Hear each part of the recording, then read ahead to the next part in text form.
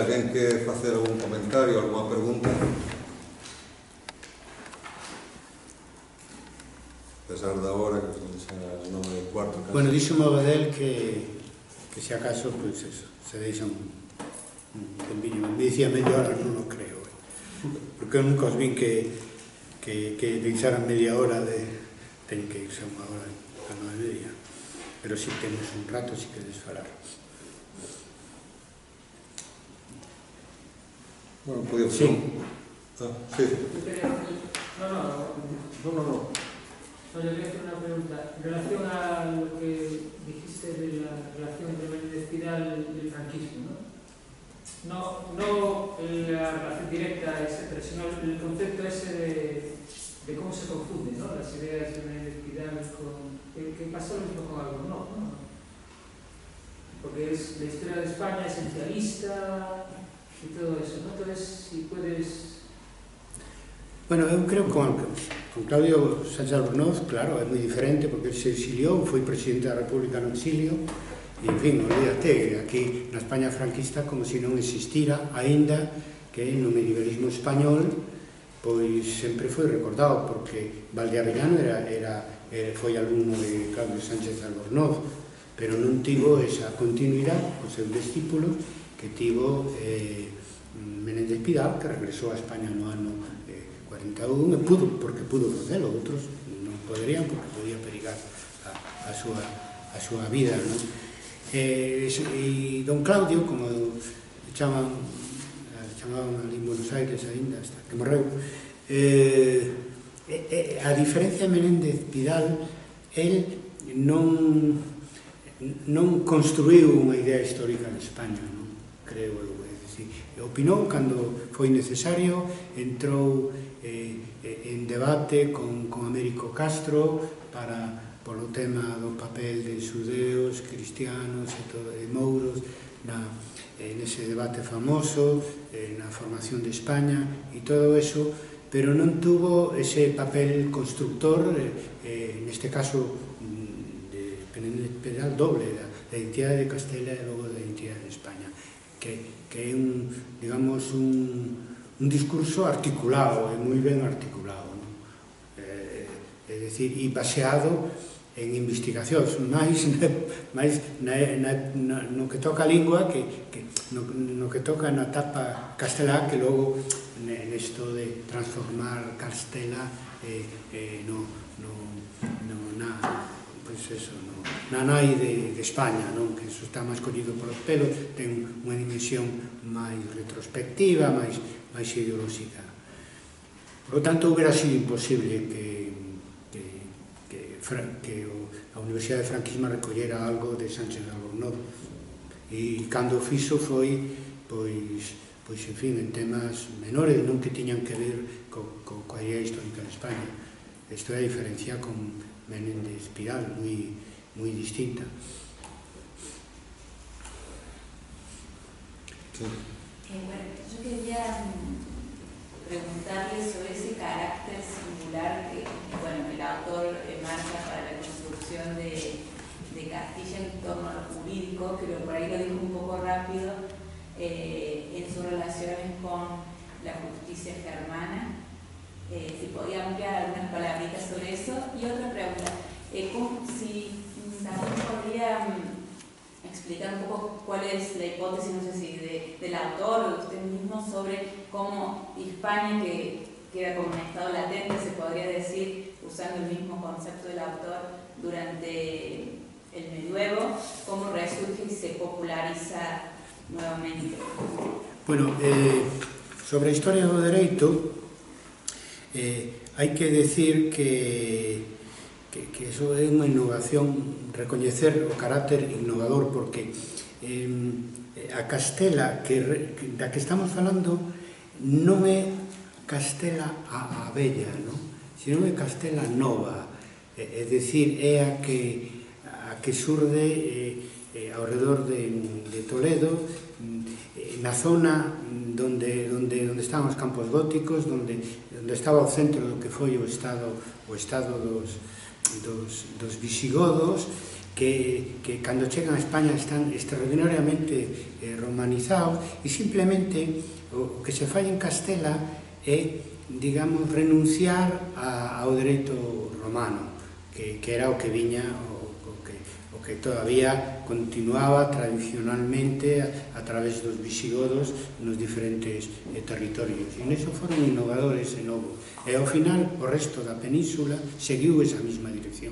Pasar, digamos, as jurisprudencias, sentencias dos jueces como a base primeira e principal de, para facer justicia.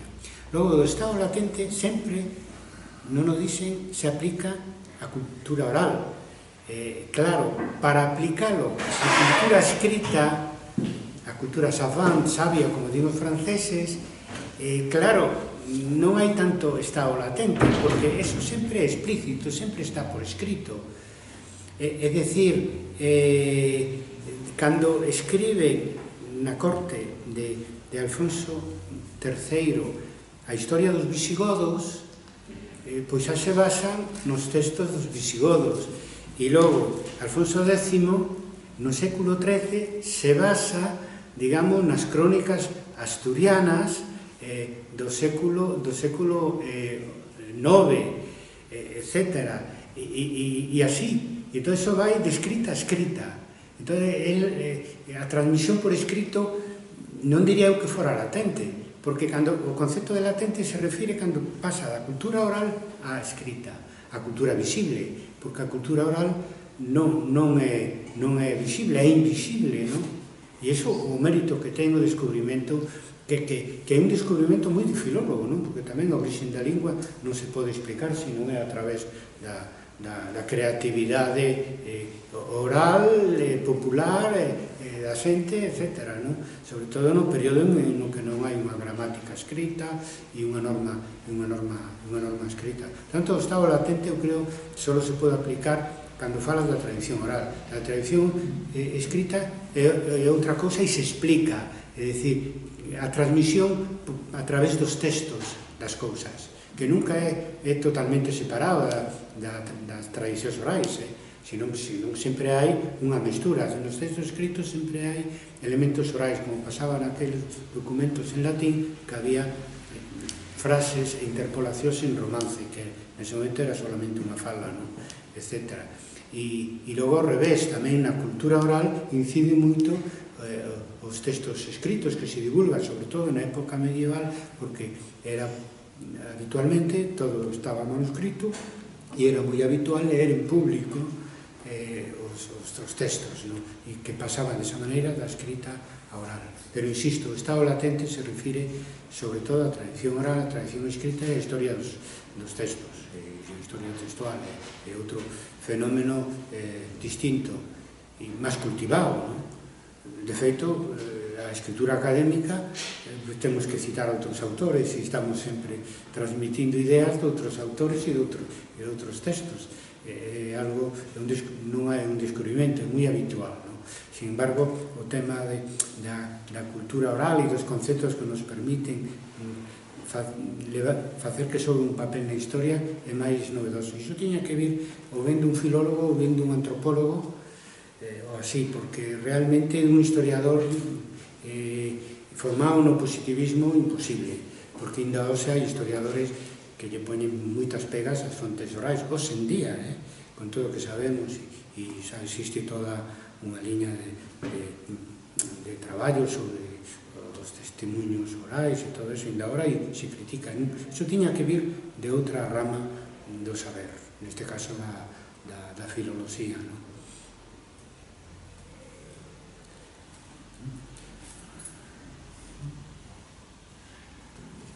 Eh, en fin, non sei que me dá, porque eu son leigo na materia, pero bueno. Perdón?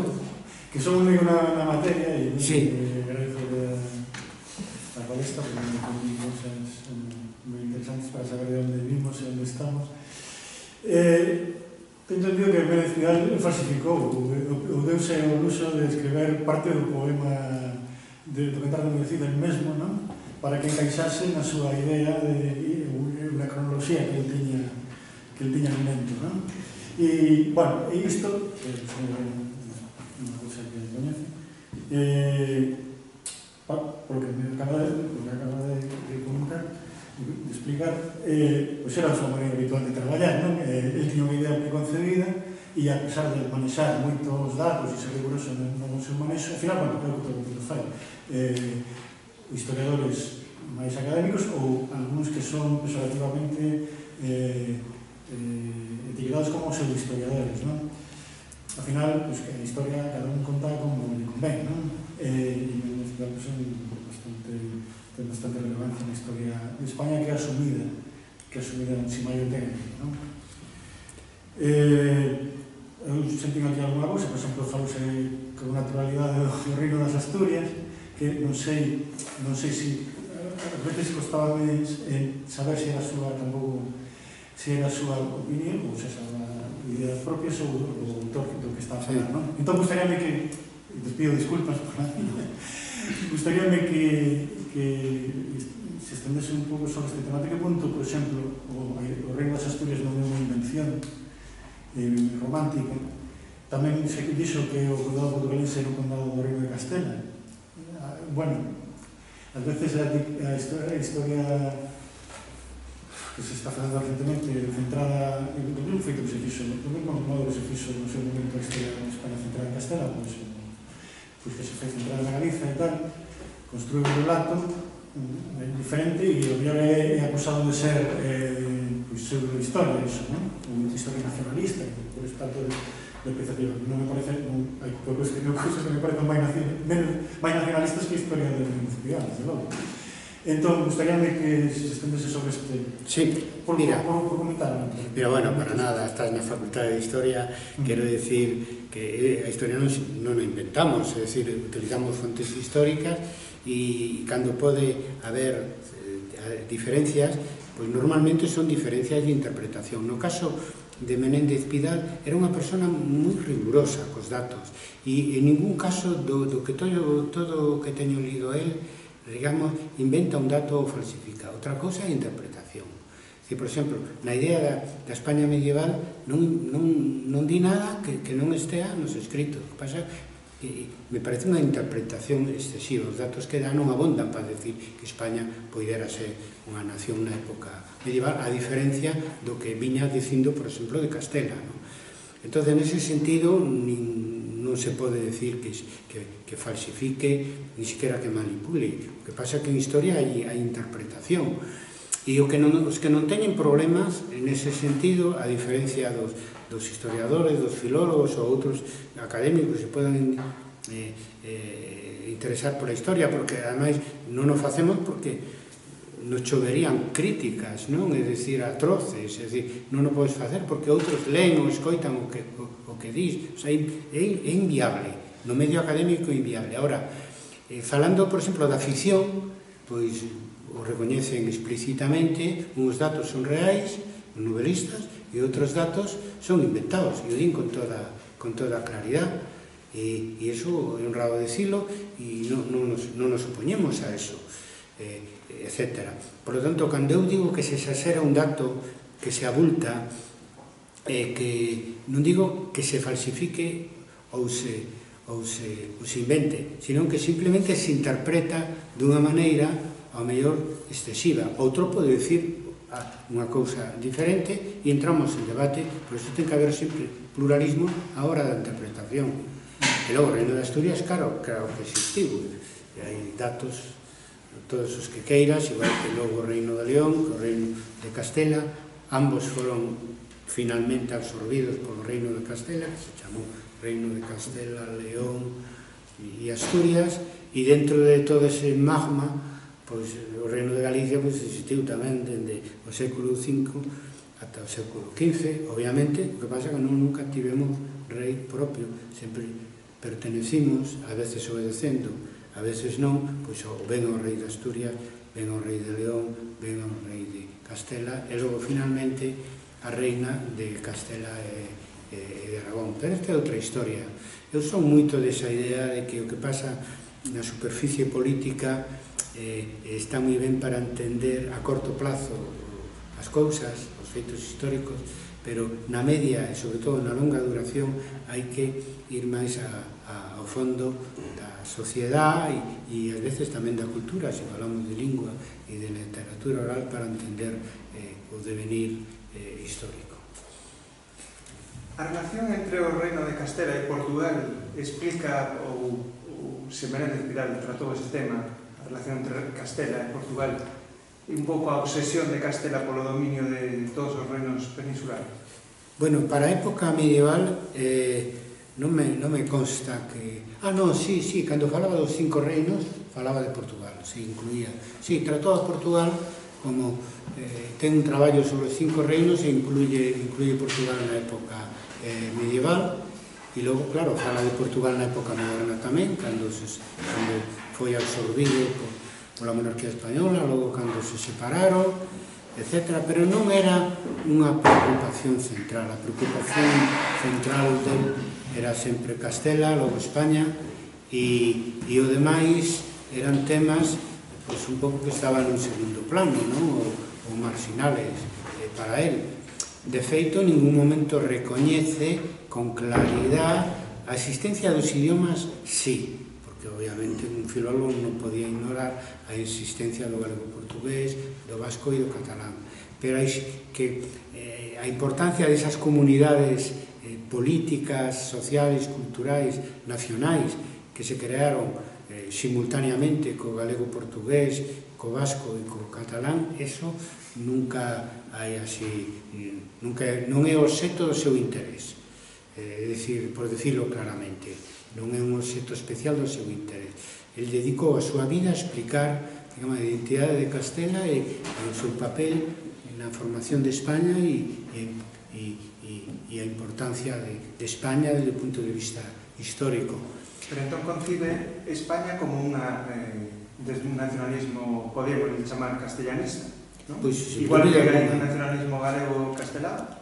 poderíamos considerar a Menéndez Pidal como un nacionalista castellanista. Castellanista, sí, bueno... E que non interesa todo aquilo que non escape do dominio de Castela, que dice Portugal, nese sentido, igual non interesa, pregunto, estou preguntando, por, non interesa porque realmente aquilo que escapa do dominio de Castela ou da hegemonía, se queramos chamar así, e por tanto non é España.